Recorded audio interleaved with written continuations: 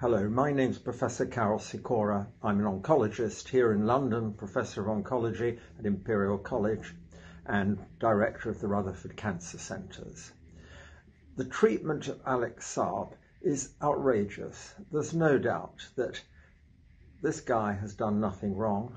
It's a technical detention disputed by several countries now. But most importantly, his health is bound to be deteriorating.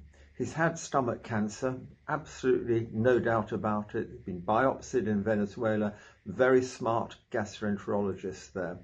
And there's no doubt he's suffering now. He needs a better food, better diet, and he also needs to control his cholesterol and lipid levels, which are sky high at the moment. He's getting almost no medical attention, and moving him to that's where he should be.